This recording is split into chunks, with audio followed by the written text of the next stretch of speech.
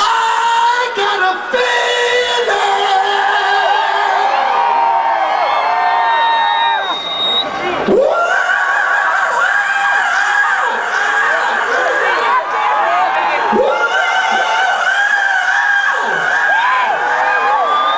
now I don't expect y'all to do that, but how about just a little?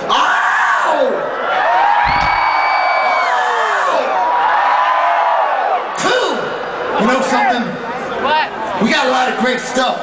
We were going to play for you for two and a half hours. They told us tonight we can't do it because there's a curfew. But I got